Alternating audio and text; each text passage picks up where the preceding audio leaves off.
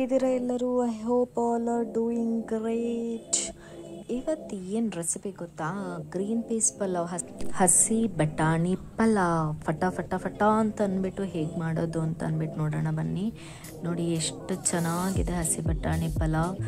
ತುಂಬ ಬೇಗ ಮಾಡ್ಬೋದು, ಹೇಗೆ ಮಾಡಿದೆ ಅಂತ ಹೇಳ್ತೀನಿ ನೋಡಿ. ನೋಡಿ, ಒಂದು ಮಿಕ್ಸರ್ ಜಾರಿಗೆ ಒಂದು ಕಪ್ಪಷ್ಟು ಪುದೀನ ಎಲೆ ಹಾಕ್ಕೊಂಡಿದ್ದೀನಿ ಒಂದು ಕಪ್ಪಷ್ಟು ಕೊತ್ತಂಬರಿ ಎಲೆ ಹಾಕ್ಕೊಂಡಿದ್ದೀನಿ ಕೊತ್ತಂಬರಿ ಸೊಪ್ಪಿನ ಎಲೆ ಹಾಕ್ಕೊಂಡಿದ್ದೀನಿ ಒಂದು ಐದರಿಂದ ಆರು ಹಸಿಮೆಣಸಿನ್ಕಾಯಿ ಹಾಕ್ಕೊಂಡಿದ್ದೀನಿ ಒಂದು ಸ್ವಲ್ಪ ಚಕ್ಕೆ.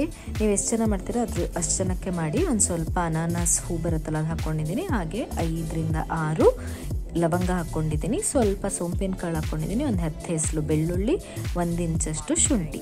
ಇದಿಷ್ಟು ನಮಗೆ ಬೇಕಾಗಿರೋ ಮಸಾಲೆ. ಇದಕ್ಕೆ ಸ್ವಲ್ಪ ನೀರು ಹಾಕೊಂಡ್ಬಿಟ್ಟು ನೈಸಾಗಿ ಗ್ರೈಂಡ್ ಪೇಸ್ಟ್ ಮಾಡ್ಕೋಬೇಕು. ನೋಡಿ, ಪೇಸ್ಟ್ ಈ ಟೈಪಲ್ಲಿ ಆಗಿದೆ. ನಾನೊಂದು ಫೋರ್ ಮೆಂಬರ್ಸಿಗೆ ಮಾಡ್ಕೊತಾ ಇರೋದ್ರಿಂದ ಸ್ವಲ್ಪ ಸ್ವಲ್ಪ ಹಾಕ್ಕೊಂಡಿದ್ದೀನಿ ನಿಮ್ಮ ಕ್ವಾಂಟಿಟಿ ನೋಡಿ ಮಾಡ್ಕೊಳ್ಳಿ. ನೆಕ್ಸ್ಟ್ ನಾನೊಂದು ಕುಕ್ಕರ್ ಇಟ್ಕೊಂಡಿದ್ದೀನಿ. ಅದಕ್ಕೆ ಟೂ ಟೇಬಲ್ ಸ್ಪೂನ್ ಅಷ್ಟು ಗೀ ಹಾಕ್ಕೋತಾ ಇದ್ದೀನಿ. ಗೀ ಹಾಕ್ಕೊಂಡ್ರೆ ಎಂಥ ರೆಸಿಪಿ ಇದ್ರೂ ಸಕ್ಕದಾಗತ್ತೆ ನೀವು ಟ್ರೈ ಮಾಡಿ ನೋಡಿ. ಒಂದು ಸ್ಪೂನ್ ಹಾಗೇನೆ ರೈಸ್ ಮೇಲೇ ಒಂದು ಸ್ಪೂನ್ ಗೀ ಹಾಕ್ಕೊಂಡ್ರೆ ಸಾಕು. ಎಂಥ ಸಕ್ಕತ್ತಾಗಿರುತ್ತಲ್ವ? ಅದೇ ರೆಸಿಪೀಸ್ಗಳಿಗೆ ಹಾಕಿದ್ರೆ ಹೇಗಿರುತ್ತೆ ನೋಡಿ. ಹಾಗೆಯೇ ನಾನಿಲ್ಲಿ ಸ್ವಲ್ಪ ಎಣ್ಣೆನ ಹಾಕ್ಕೊತಾ ಇದ್ದೀನಿ. ಇಲ್ಲಿ ನಾನು ಒಂದು ಬಿಗ್ ಚಾಪ್ಡ್ ಆನಿಯನ್ ಇಟ್ಕೊಂಡಿದ್ದೆ. ಆನಿಯನ್ನ ಹಾಕ್ಕೊತಾ ಇದ್ದೀನಿ. ಹಾಕ್ಕೊಂಬಿಟ್ಟು ಗೋಲ್ಡನ್ ಬ್ರೌನ್ ಆಗೋ ತನಕ ನೀಟಾಗಿ ಮಿಕ್ಸ್ ಮಾಡ್ಕೊಳ್ಳಿ. ಹಸಿ ಸ್ಮೆಲ್ಲೆಲ್ಲ ಹೋಗಬೇಕು ರಾ ಸ್ಮೆಲ್ಲು ಅಲ್ಲಿ ತನಕ ನೀಟಾಗಿ ಫ್ರೈ ಮಾಡ್ಕೊಳ್ಳಿ. ಆಯಿಲಲ್ಲಿ ಗೀ ಏನಿರುತ್ತೆ? ಗೀ ಮತ್ತು ಆಯಿಲ್ ಎರಡೂ ಕೂಡ ಆನಿಯನ್ಗೆ ಕರೆಕ್ಟಾಗಿ ಕಂಬೈಂಡ್ ಆಗಬೇಕು. ಅಲ್ಲಿ ತನಕ ನೀಟಾಗಿ ಮಿಕ್ಸ್ ಮಾಡ್ಕೊಳ್ಳಿ. ನೋಡಿ ಈ ಥರ ಮಿಕ್ಸ್ ಮಾಡ್ಕೊಂಡಿದ್ದೀನಿ. ನೋಡಿ. ನೆಕ್ಸ್ಟ್ ಏನು ಮಾಡಬೇಕು, ಇದಕ್ಕೆ ಪೇಸ್ಟ್ ಮಾಡಿ ಇಟ್ಕೊಂಡಿದ್ವಲ್ಲ, ಅದನ್ನು ಹಾಕ್ಕೋಬೇಕು. ಫಸ್ಟಿಗೆ ಯಾಕೆ ಹಾಕ್ಕೋಬೇಕು ಅಂತ ಹೇಳಿದ್ರೆ ನೆಕ್ಸ್ಟು ಪೀಸು ಟೊಮ್ಯಾಟೊ ಎಲ್ಲ ಹಾಕ್ಕೊಂಡ್ಬಿಟ್ರೆ, ಇದ್ರದ್ದು ರಾ ಸ್ಮೆಲ್ಲು ಹೋಗೋದಿಲ್ಲ. ಹಾಗಾಗಿ ಏನು ಮಾಡ್ಕೋಬೇಕು? ಮುಂಚೆನೇ ಆನಿಯನ್ ಆದ ತಕ್ಷಣ ಅದ್ರ ನೆಕ್ಸ್ಟೇ ಏನು ಮಾಡ್ಕೋಬೇಕು?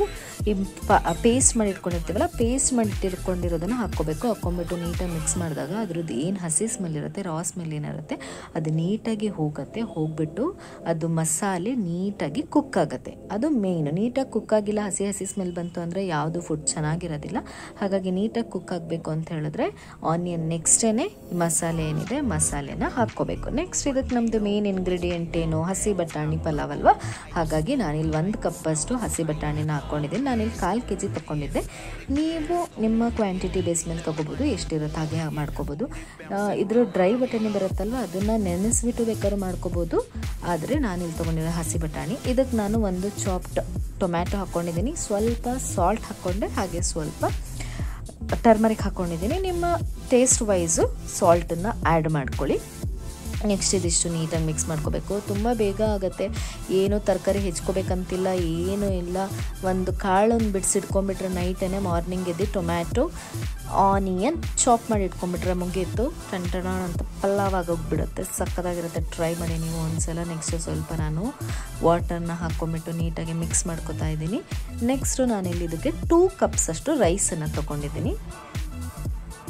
ಟೂ ಕಪ್ಸ್ ಅಷ್ಟು ರೈಸ್ ತೊಗೊಂಬಿಟ್ಟು ತೊಳೆದಿಟ್ಕೊಂಡಿದ್ದೀನಿ. ನೀಟಾಗಿ ವಾಶ್ ಮಾಡಿ ಹಾಕ್ಕೊಂಡಿದ್ದೀನಿ. ನೆಕ್ಸ್ಟು ನೀಟಾಗಿ ಅದನ್ನೆಲ್ಲ ಮಿಕ್ಸ್ ಮಾಡ್ಕೊಳ್ಳಿ. ಅದೆಲ್ಲ ಏನಿರುತ್ತೆ? ಮಸಾಲೆ, ಟೊಮ್ಯಾಟೊ, ನೀರುಳ್ಳಿ ಎಲ್ಲದೂ ಕೂಡ ಒಂದಕ್ಕೊಂದು ನೀಟಾಗಿ ಮಿಕ್ಸ್ ಆಗಬೇಕು. ನಾವು ಹೀಗೇ ನೀರು ಹಾಕೋಕ್ಕಿಂತ ಮುಂಚೆ ಒಂದ್ಸಲ ಫ್ರೈ ಮಾಡಿಕೊಂಡ್ರೆ ಏನಾಗುತ್ತೆ? ಉದ್ರುದ್ರಾಗಿ ಬರುತ್ತೆ. ಸ್ಟಿಕ್ಕಿ ಆಗೋದಿಲ್ಲ ರೈಸು ಉದ್ರುದ್ರಾಗಿ ಬರುತ್ತೆ.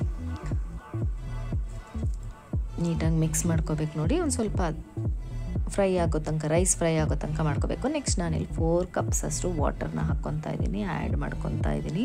ವಾಟರ್ನ ಹಾಕ್ಕೊಂಡು ನೀಟಾಗಿ ಮಿಕ್ಸ್ ಮಾಡ್ತಾ ಇದ್ದೀನಿ. ನೀಟಾಗಿ ಮಿಕ್ಸ್ ಮಾಡ್ಕೋಬೇಕು ಈ ಟೈಪಲ್ಲಿ ನೀಟಾಗಿ ಮಿಕ್ಸ್ ಮಾಡ್ಕೊಂಡಾದಮೇಲೆ ಇದಕ್ಕೆ ಹಾಫ್ ಲೆಮನ್ ಹಾಕ್ಕೊತಾ ಇದ್ದೀನಿ. ಇದು ಅಷ್ಟೇ ಲೆಮನ್ ಹಾಕ್ಕೊಂಡಾಗ ನೆಕ್ಸ್ಟ್ ಏನು ಹಾಕ್ಕೊಂಡಿದ್ದೀನಿ? ಕಸೂರಿ ಮೇಥಿ ಹಾಕ್ಕೊಂಡಿದ್ದೀನಿ. ಲೆಮನ್ ಹಾಕ್ಕೊಂಡಾಗ ಏನಾಗುತ್ತೆ? ರೈಸು ಸ್ಟಿಕ್ಕಿ ಆಗೋದಿಲ್ಲ. ಒಳ್ಳೆ ಫ್ಲೇವರ್ ಸಿಗುತ್ತೆ.